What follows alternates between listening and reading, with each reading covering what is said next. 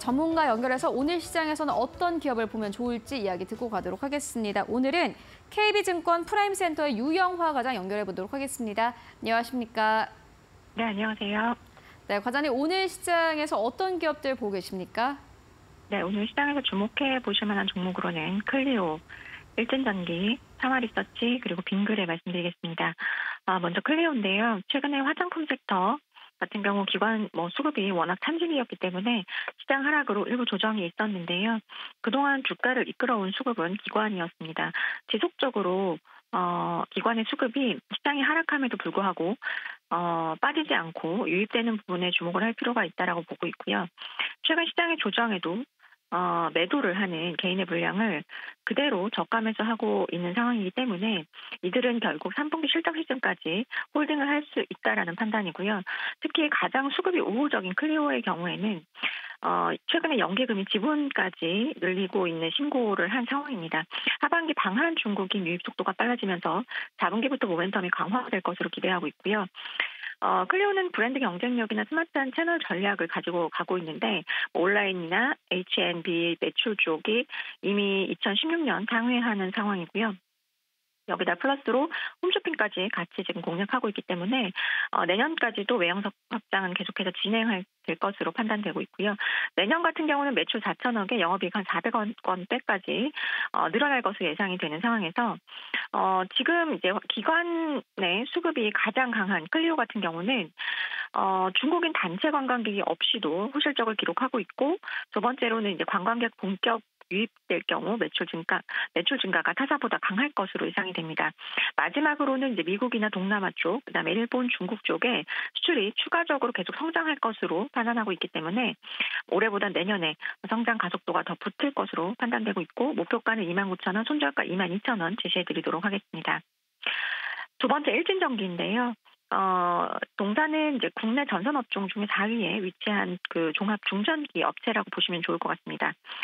어, 다른 회사에 비해서 동사의 강점이 좀 있다라고 보여지는데 전력망 구축 시에 필요한 저압부터 초고압까지 다양한 전선, 여기에 변전소의 필수 설비인 변압기와 차단기, 이러한 중전기기 등 전력망 구성에 필요한 모든 제품을 공급하는 토탈 솔루션이 가능한 기업이거든요. 이런 강점을 활용해서 해외 시장에 턴키 방식으로 수주를 하고 있기 때문에 이런 방식을 지금 이제 해외에서 선호를 하고 있고 동사의 수주가 좀 어, 확대되는 어, 포인트라고 보시면 좋을 것 같습니다.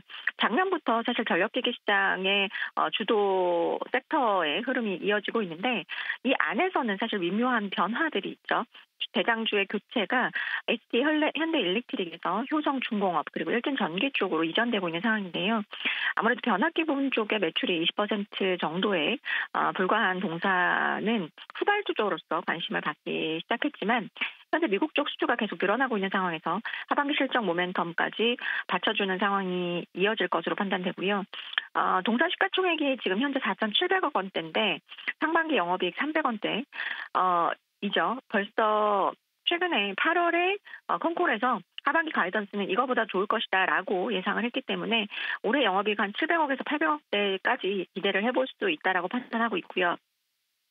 최근에 10월 4일 날 추가적으로 또 수주를 받았습니다. 그래서 1,600억대 수주가 나왔고 수주잔고 업데이트 한다면 지금 한 1조 2천억 정도 수주잔고는 역대 최고치라고 보시면 좋을 것 같고요. 지난달에는 어, 초고압 변압기 공장 증설도 발표를 했기 때문에 어, 디스카운트 요인도 해소가 점차 되지 않을까라는 판단입니다.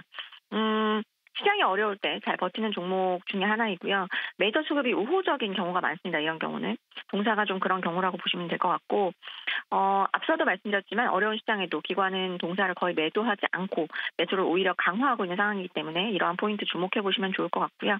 목표가는 15,500원, 손절가 11,500원 제시를 해드리도록 하겠습니다. 네, 마지막으로 파마 리서치인데요.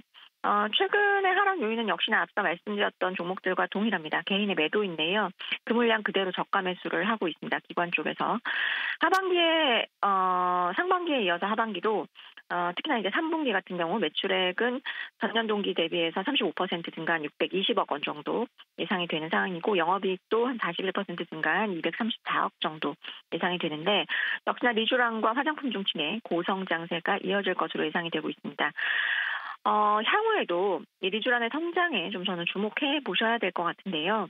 주가 하락하고 있지만 오히려 저는 기회라고 보고 있고요. 한 두 가지 정도 보시면 일단 첫 번째로는 의료기기 내에서의 리쥬란의 성장에 대해서 좀 주목할 필요가 있을 것 같아요. 리쥬란 힐러라든지 스킨 부스터 같은 경우는 피부결을 개선시키는 이제 스킨 부스터인데 요게 높은 품질성으로 국내에서 인기를 받고 있고 또 수출 쪽에서는 태국이나 싱가폴, 뭐 말레이시아, 우크라이나, 중국 쪽으로 수출이 계속해서 늘어나고 있습니다. 현재는 한국과 동남아시아, 중동, 남미 시장의 1차 타겟 시장이 되겠지만 단계적으로는 유럽, 미국, 일본 쪽에 진출할 수 있다는 점이 확장성을 갖추고 있다는 것을 아, 좀 챙겨보시면 좋을 것 같고 두 번째로는 어, 리쥬란 화장품 쪽에서의 성장인데요. 요게 이제 사실은 이제 소 섹터라고 좀 형성이 되어 있었는데 대형 브랜드로서도 성장할 어, 가능성에 좀 주목을 해보실 필요가 있을 것 같습니다. 올해 상반기 화장품 매출액이 YOY로 47% 성장했거든요. 연간으로는 51% 증가한 한 580억 정도 예상이 되기 때문에 리쥬럴 화장품의 그 성장性굉장히 가파르고 여기에 좀 주목을 해보실 필요가 있다라고 보고 있고요. 면세점이나 올리브영 쪽에서 새로운 컨셉의 프리미엄 브랜드로 지금 성장을 하고 있고 실제로 시장 조사 결과 어, 거의 뭐 품절되는 현상들이 지금 계속해서 일어나고 있기 때문에 어, 외국인 관광객의 유입 시 더 추가 적으로 좀 인기를 끌 수 있지 않을까라는 판단이고 어, 리쥬란 같은 경우는 올해 초부터 국내 리오프닝 시작되면서 피부과를 방문하는 사람들의 기본적인 수요가 늘어나고 있고요. 지난해에 새롭게 진출한 태국 시장에서의 매출액도 계속 가파르게 증가를 하고 있습니다.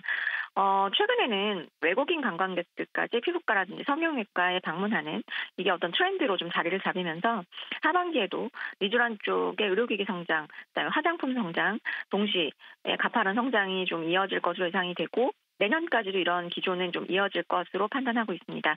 어, 목표가는 15만 원, 손절가는 10만 5천 원 제시해드리도록 하겠습니다. 네, 알겠습니다. 오늘도 말씀 고맙습니다. 네, 감사합니다.